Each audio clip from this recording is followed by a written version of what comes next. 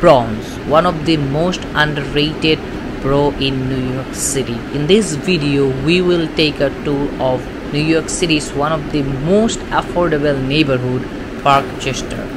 Before I move further, all the information I will share throughout the video based on some Google search, online article and some books. Nothing is made up by me, so do not get upset with me if you don't like any facts that I will share throughout the video. And also, feel free to share if you had any thought or if you would like to add something that I forget to mention in the video.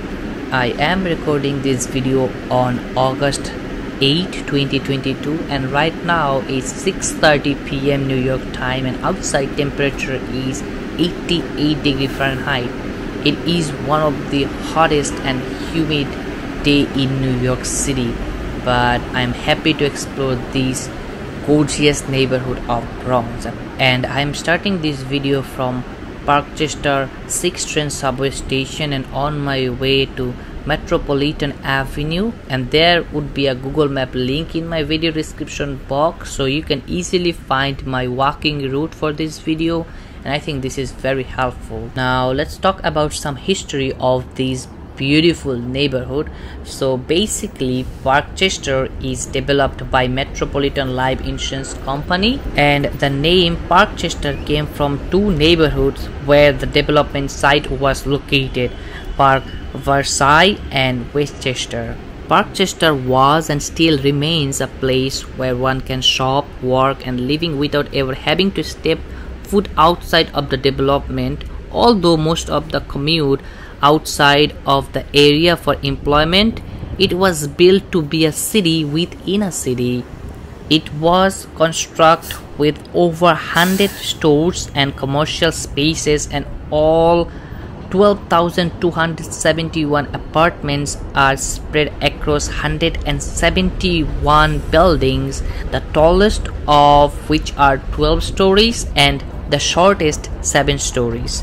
Now, all of that might sound quite dense, but in reality, a little over 50% of Parkchester is actually open space and recreational area with the rest dedicated to its roadways and about 27.5% are actually buildings according to the Parkchester's website.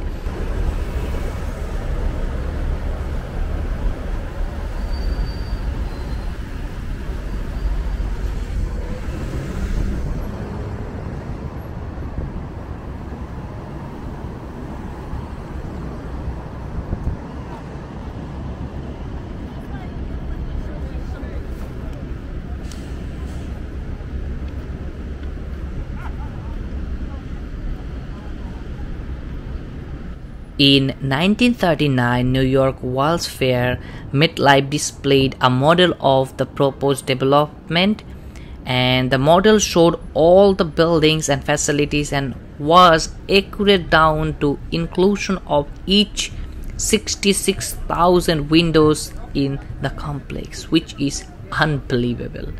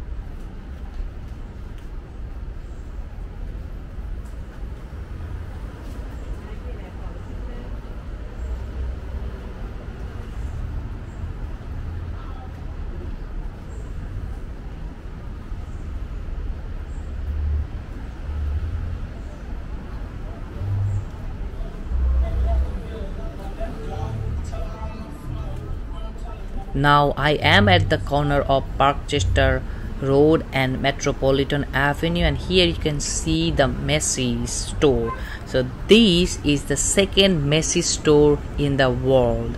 So the first Macy's store is in 34th Street Herald Square but in 1941 Macy's opened its store in the complex and this is the second Macy's store in the world as I mentioned earlier this is a city inside a city. So you do not really need to go outside of this neighborhood to do anything unless you had a job or something like that. And not only that this particular complex has its own post office that I will show later in this video which is really convenient. And that's the reason this is one of the New York City's most affordable neighborhood.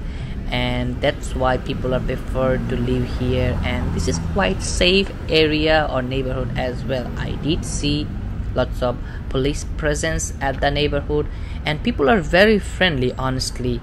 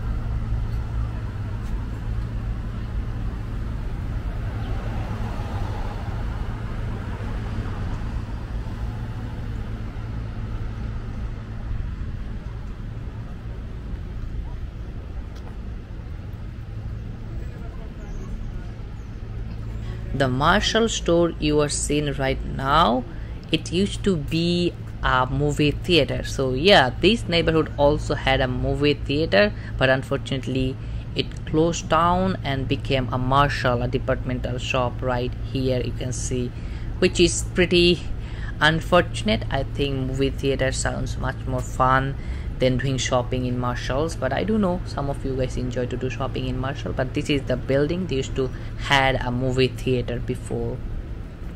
Now let's back to the history of this neighborhood. So from 1861 to 1938 the 129 acre site that would be became the largest condominium development in the world was owned by the Archdiocese of New York and was the home of two New York Catholic protectory and orphanage for boys and girls. In 1938, MetLife purchased the 129 acre site from the Archdiocese for the grand sum of $5 million Soon after, MetLife began construction for the massive development which take three years to complete.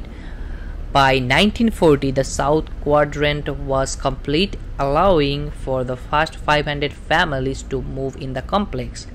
And the rest of the development was complete by 1941 and by 1943 all 12,271 apartments were rented. So, but not everyone was welcomed. When the development opened in 1940, it was a whites only development and for 28 years blacks and people of color could not rent in this beautifully planned community also called city within a city according to parkchester a Bronx tale of a race of ethnicity written by jeffrey s Gurock Frederick Ecker, president of MetLife, said in 1943 that Negroes and whites do not mix. Perhaps they will in 100 years, but they will do not now.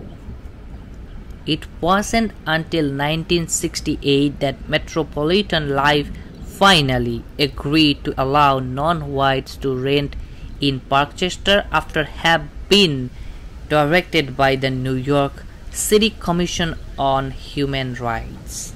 Metropolitan Life Insurance had no problem taking money from African American families and people of color, but then they went ahead and uses those same funds to build a development that would exclude black and people of color, which is truly unbelievable.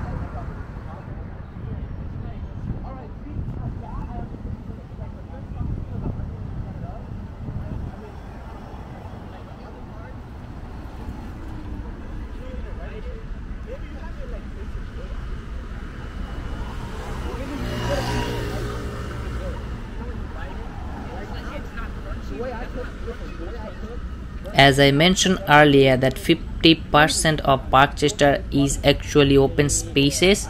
So this is a beautiful park and it's called Bronx Union Port Parkchester Park. It's a pretty lovely park and I really like this gorgeous fountain you will see right now this is truly a family friendly park i did see lots of senior citizens kids playing around but the thing i really like about this park this amazing fountain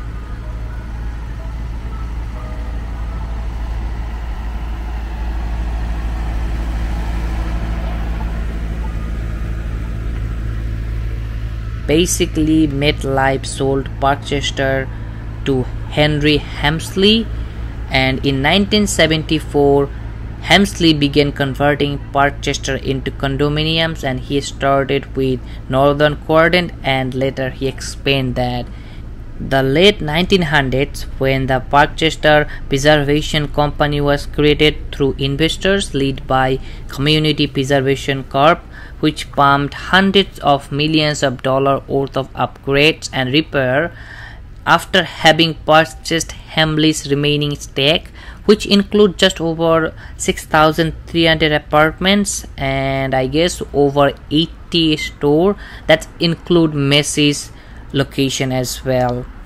By the early 2000s, things begin to turn around for the Parkchester and its residents, and also along with everything else, property values increased for the brave homeowners who purchased their units when conditions were bleak.